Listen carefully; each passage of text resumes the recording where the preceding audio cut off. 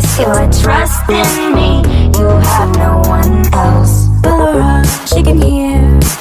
So keep your voice down pretty well, let's just say. He likes to play games, Bonnie helps keep him calm. Wind out of order,